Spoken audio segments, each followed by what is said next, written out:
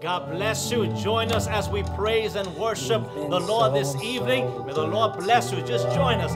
Let's thank the Lord for his beauty. Amen. God is awesome. all we need and more. You give us all we want and more. Withholding nothing from the ones. Lord, you don't withhold anything, Lord. And I thank you for this evening. Open up your hand and satisfy the desire of every living thing, Lord. Surely I had fainted if I had not seen your goodness. Surely I had fainted.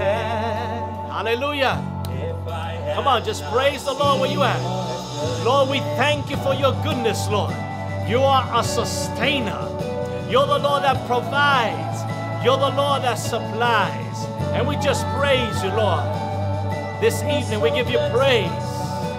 Come on, tell the Lord, surely I would have fainted unless I would have seen. Surely I had fainted if I had not seen your goodness.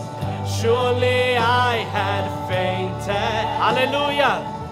If I had not seen your goodness, surely I had fainted. We worship you. Come on, tell the Lord, surely I will have fainted. Surely I had fainted. Yes, Lord. If I had, if I had not seen your goodness, God, Lord, you are good. Come on, tell the Lord, Lord, you are good. We praise you, Lord. You are good. You are good. You are God. We praise you, Father. We praise you, Father. Thank you for your goodness. Thank you for your faithfulness. Come on, tell the Lord. You are good. You are good. You are God. You are good, Lord. We worship you, Lord.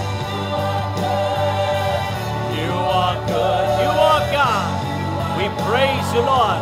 Father, we just thank you for your goodness, Lord. We thank you for your mercy. We thank you for your grace. Lord, despite how we are, you are always good. Your mercies are brand new every morning. And my soul magnifies the Lord. My soul will be forever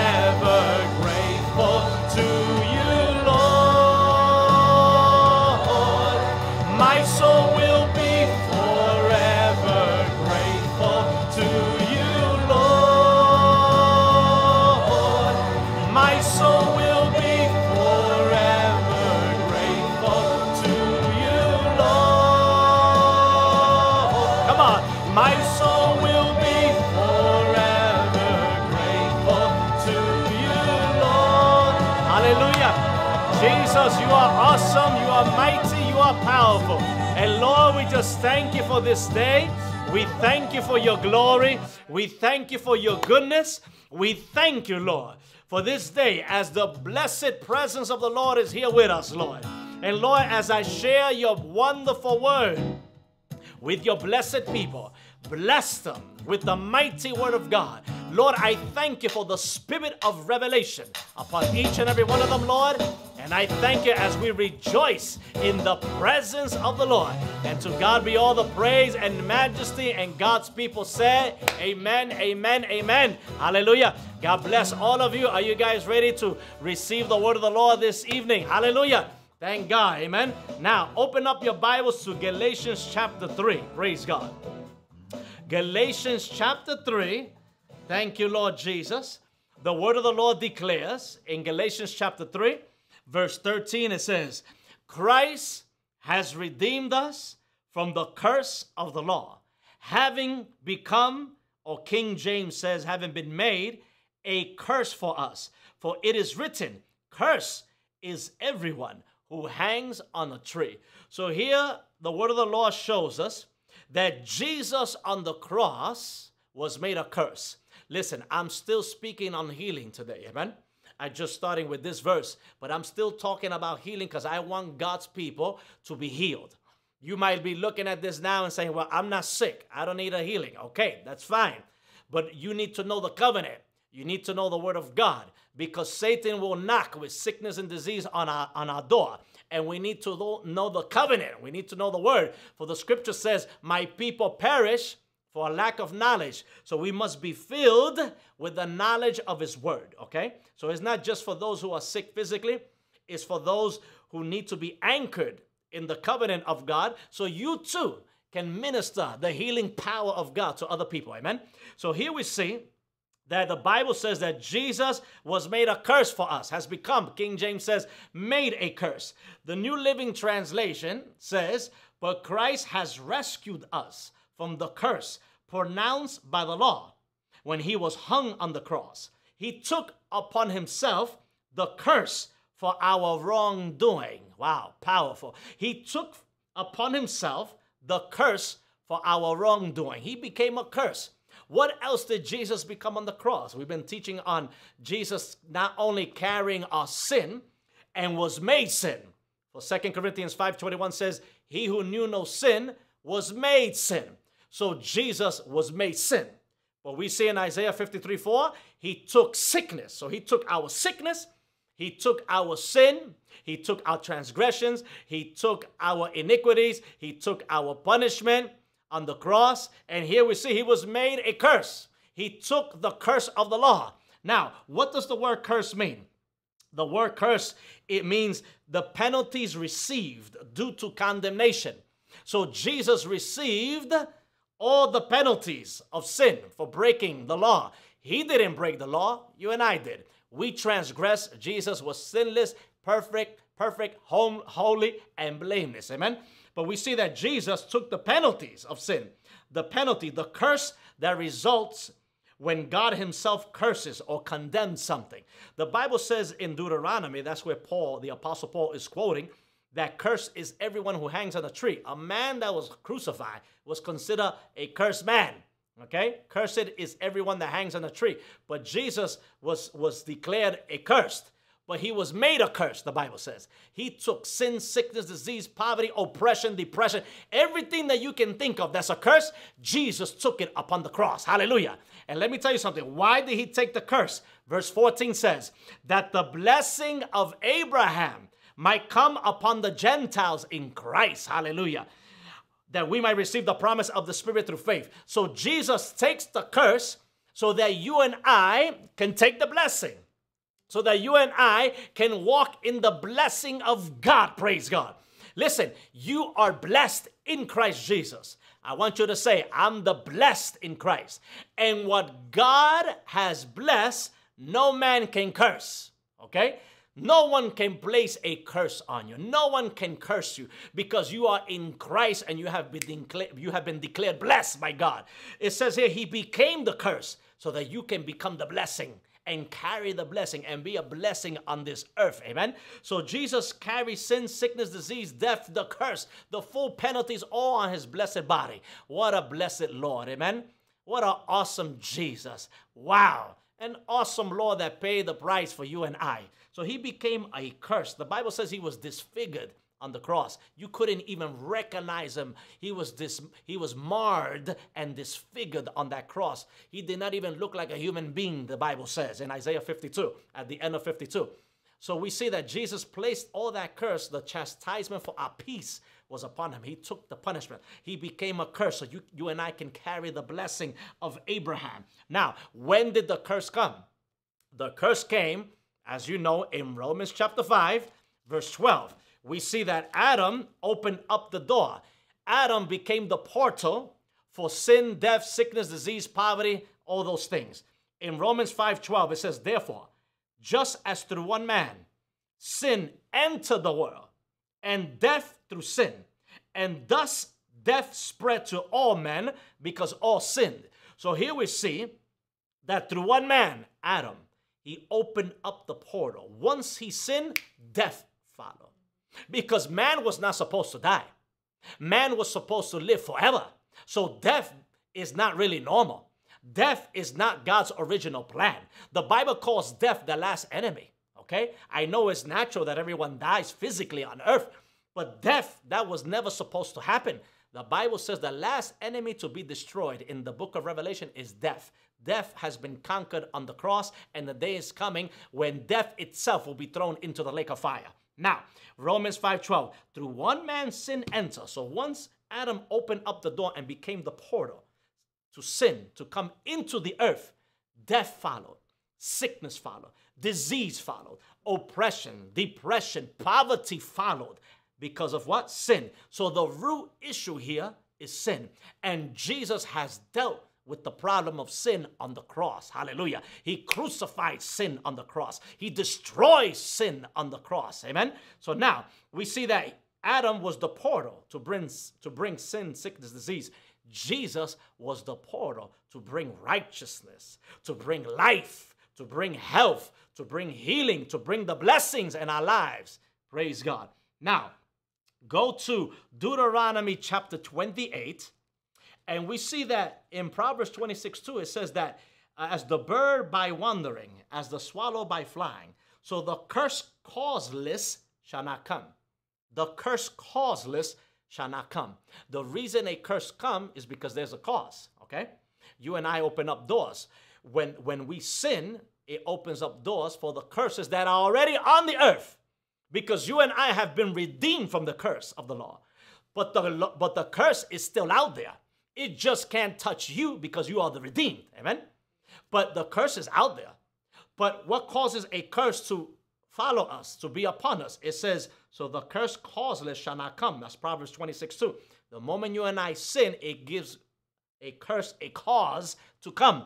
But if there's no sin in your life, praise God, if you don't practice sin, the curse won't come. And remember, what God has blessed can never, ever be cursed. You can ask the prophet Balaam King Balak said, Go curse Israel. And when he went to go do it, he said, I can't do it. I can't curse Israel. And he told the king, He said, Why didn't you curse them? Because I cannot curse what God has blessed, and it cannot be reversed. And God's people said, Amen. Amen. So once God releases the blessing, he ain't taking it back. Amen. Now, Deuteronomy chapter 28, here we see a list of the blessings when we obey God and the curses if we disobey God. Okay? So, Deuteronomy chapter 28, from verse 1 to verse 14, the blessings are listed. And you can read it for yourself. But verse 2 says, And all these blessings shall come upon you and overtake you because you obey the voice of the Lord your God. So once you and I obey, blessings follow. Blessings follow. If you want blessings to follow you, follow you. If you want goodness and mercy to follow you all the days of your life, all you have to do is obey God. It's that simple. Now, but the curses are listed in verse 15 to verse 68. There's a list of curses for disobeying God. Now, you and I, when we read the curses, read the curses. You know why you want to read the curses? Because you want to know what you've been redeemed from. Hallelujah. I know people just want to read about the blessings. That's good. Read verse 1 to verse 14, what you experience if you obey. But verse 15 to 68 shows us everything you and I have been redeemed from. And I'm focusing right now on sickness and disease. Okay? So I'm not going to mention, I'm not going to read all the curses. But I'm going to mention the, the parts that have to do with sickness and disease because you need to know you've been redeemed from that. You've been rescued from the curse. That curse should not be on you, okay? Now, verse 21 in Deuteronomy 28, the Bible says, The Lord will make the plague, the word plague there means pestilence, cling to you until he has consumed you from the land which you are going to possess. So here we see the Lord will make the plague, the pestilence, stick to you. This is part of the curse if we disobey.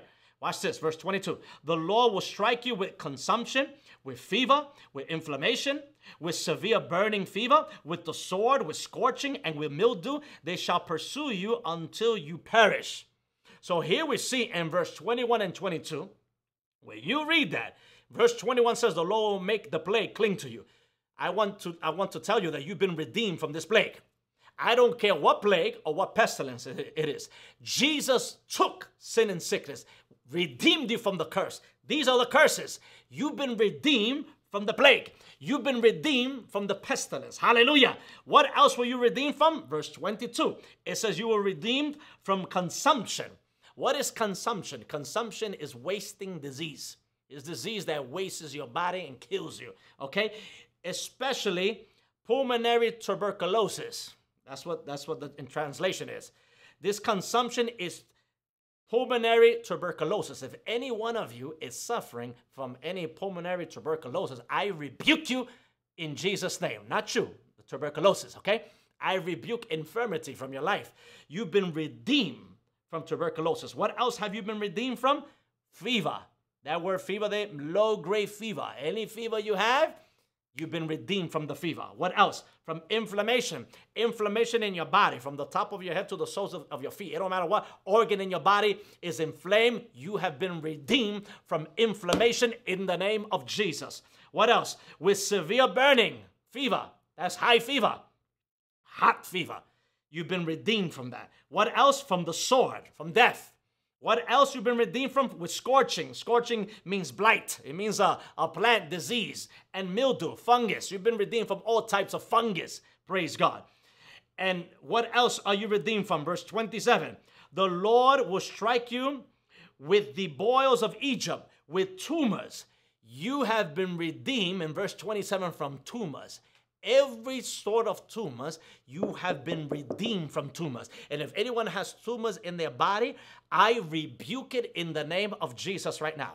I rebuke every tumor from anyone's body, from the top of the head, hallelujah, to the soles of their feet. I rebuke every tumor in the name of Jesus. I curse every tumor right now. If you have any tumor, I rebuke it and I command it to shrink and go away in the name of Jesus.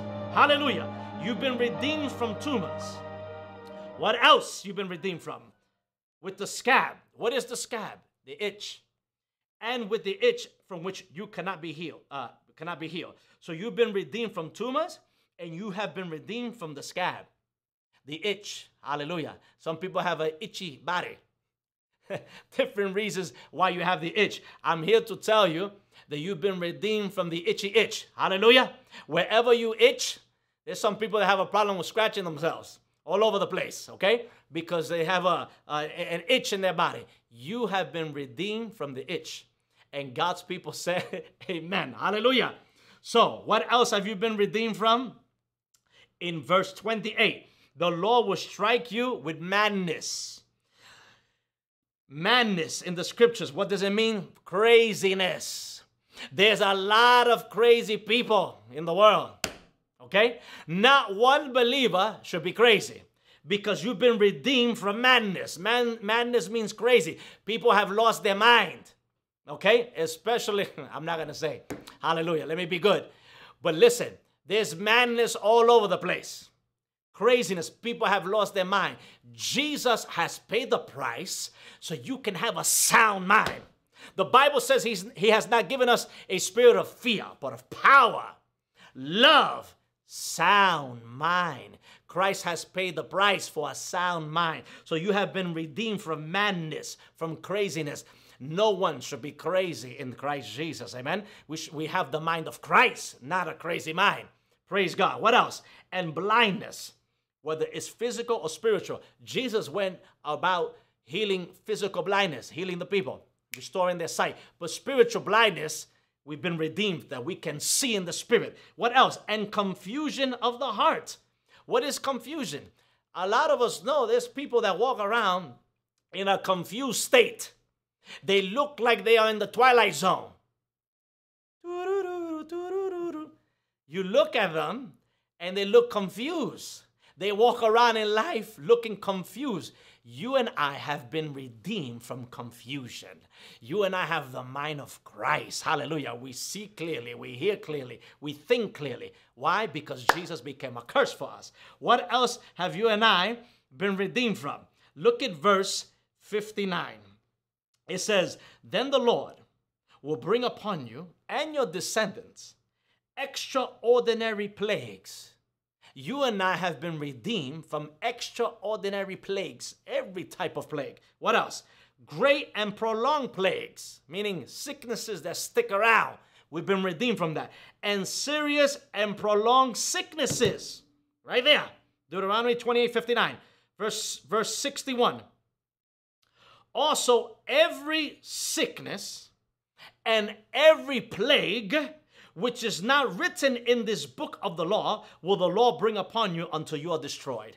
You and I have been redeemed from every sickness and every plague. Hallelujah. And I love this.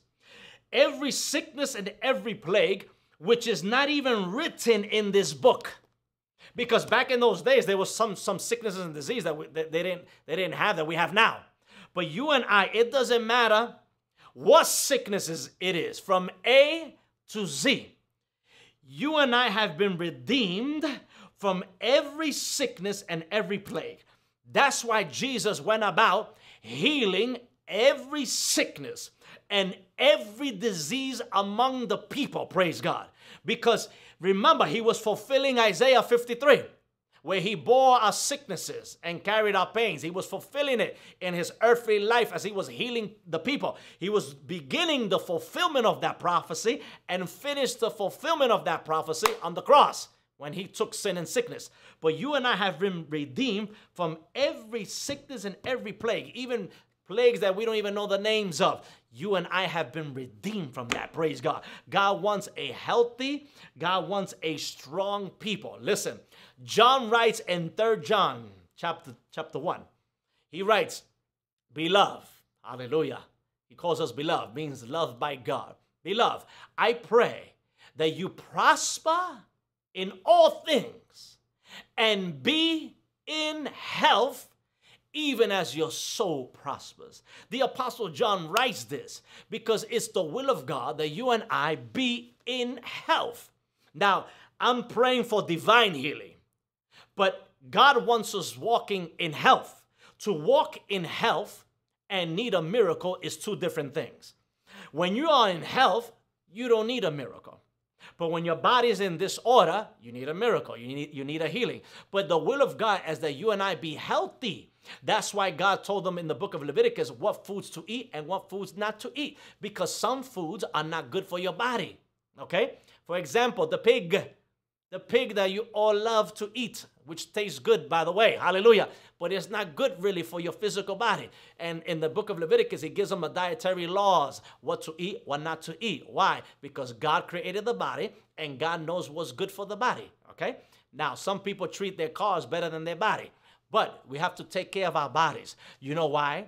Because you and I have prophetic purposes to fulfill, fulfill on this earth. And we need to be healthy. If we're not healthy, our spirit is to say, bye bye, I got to leave my body. But God wants us in health. So there's certain, certain things that you and I have to do to stay in health. You have to eat right, you have to sleep right, you have to work out. I know some of you got an allergic reaction when I say work out because some of you are allergic to the gym, allergic to working out. But working out is good for you. Okay? It brings down a lot of things, your cholesterol and your, and your blood pressure by working out. So to be in health, you and I have to do certain natural things to stay healthy, okay? But I'm ministering divine healing, okay? When when there's a total breakdown, we need a miracle. So Jesus has provided made the provision that you may receive a miracle. But better than receiving a miracle is being in health, okay? Now, verse 66 and we end with this. It says, in verse 66 Your life shall hang in doubt before you, and you shall fear day and night, and have no assurance of life. You've been redeemed from doubt. You know, one thing is to doubt, you know, here and there, what God promises you something, you might have a little doubt. No, no, this is this is talking about doubt hanging over your life. There are people that you look at, they look confused, they look they're like they're full of fear, they look like they constipated. They look like they, they're just full of doubt all around them. Their whole facial expression. There's doubt, there's fear, there's worry. There's a spirit of doubt just hanging over them. Guess what? Good news. You've been redeemed from doubt. And what else? You shall fear day and night. You've been redeemed from the spirit of fear. You do not have to fear in the daytime.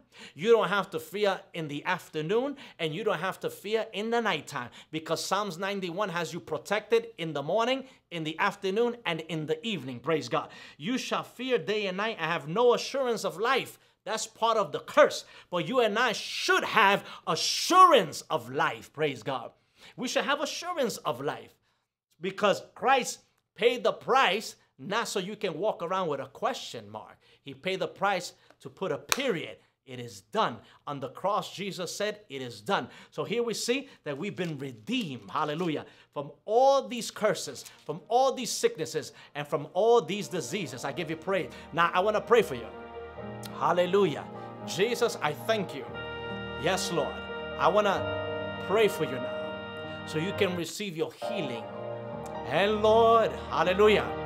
And Lord, we we praise you. Hallelujah. Yes, Jesus. And Lord,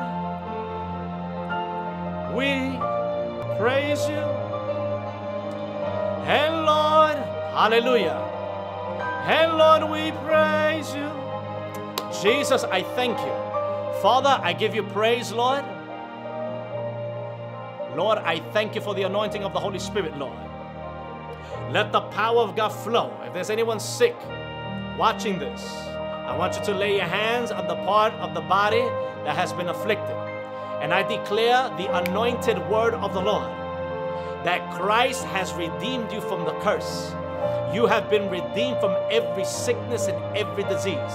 And Father, in the name of Jesus, right now, Lord, I rebuke infirmity. I rebuke disease. Lord Jesus, I rebuke the spirit of infirmity over the people. I rebuke the spirit of infirmity right now, Lord. And I command this devil of infirmity to leave the people's body. In the name of Jesus, be healed, servants of the Lord. Be healed, people of God. With his stripes, I declare you healed in Jesus' name. I rebuke all manner of affliction, all manner of disease right now by the power of the word. You send your word to heal them, Lord. Heal the people in the name of Jesus. From the top of their head to the soles of their feet, Lord. Lord, they are redeemed from every sickness and every plague. And I give you praise for the anointing of the Holy Spirit flowing right now, Lord. Heal, heal. Stretch your hand, heal in Jesus' name. I give you praise, Lord. And I just want to praise you. Hallelujah.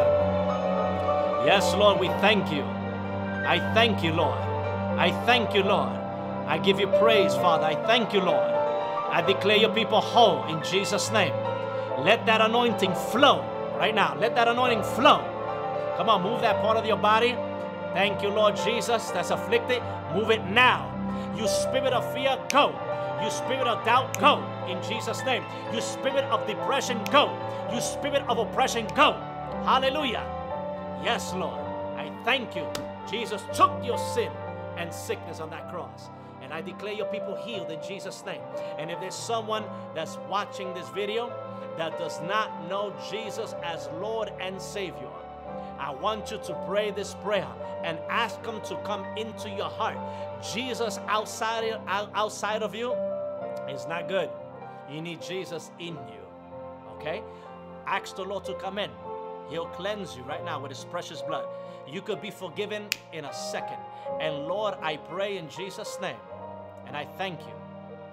Come to the Lord now. Say, Lord Jesus. Yes, Lord. Say, Lord Jesus, I'm a sinner. And I come to you now as a sinner. And I thank you, Lord, that you died for my sins and that you took my sin. You became a curse on the cross for me. And Lord, I ask you right now to forgive me of every sin I have committed. I ask you now, wash me with your blood, cleanse me with your blood. I receive you now as my Lord and as my Savior. And now fill me with your Holy Spirit.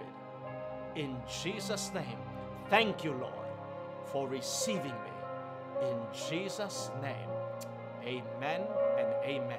Hallelujah. If you pray that prayer, I want you to email us at fire at the altar at yahoo.com and just let us know hey, preacher, I pray to receive the Lord with you.